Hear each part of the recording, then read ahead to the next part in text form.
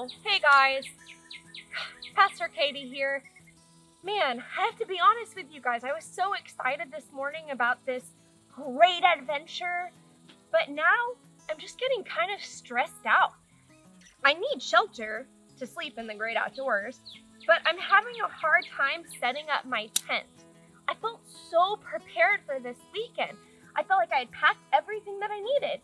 I packed my tent, I packed my sleeping bag, you know, my little puppy dog for comfort, you know, and I have my flashlight. I even have band-aids for first aid, and I have my water.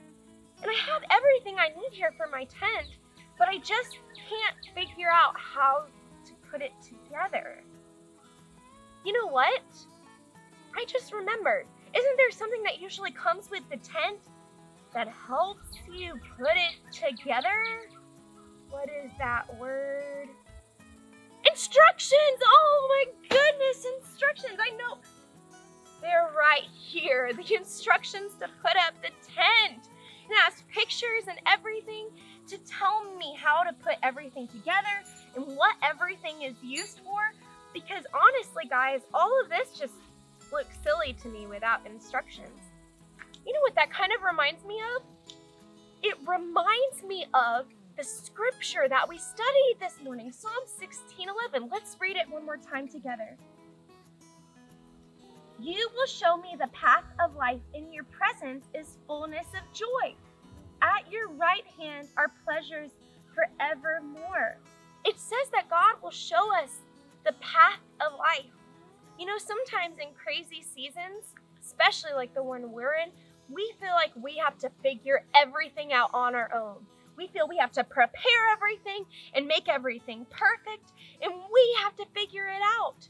But you know what? God doesn't expect us to figure out life on our own.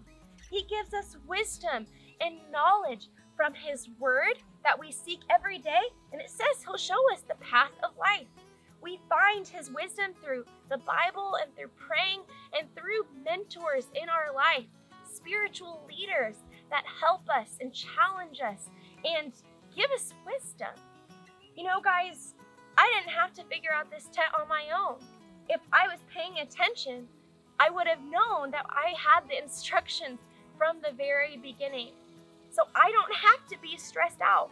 So in life, before you get stressed out, feeling like you have to do everything yourself and figure everything out, remember that God is waiting to show you the path of life. He has wisdom for you infinitely in His Word and through prayer and through the leaders in your family members in your life. I can't wait to see what the next segment is. Isn't it going to be great? I'll see you this, this evening.